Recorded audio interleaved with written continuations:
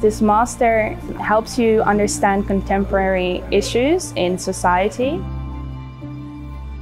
There's three elements of our program, and it looks at the cognitive aspects, our social aspects, and our health aspects. And they all work together with all our courses that we perform.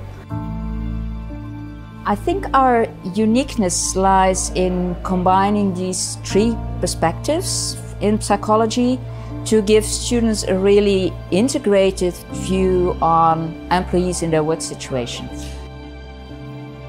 Occupational health psychology helps me understand contemporary societal concerns for occupational health and safety.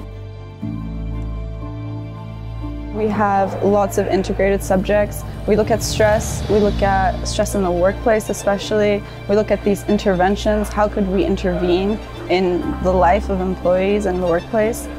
The most inspiring thing that I've learned during the master is that despite there being so many factors that can impair the well-being at work, there are so many different interventions that we put into place to improve the quality of work life.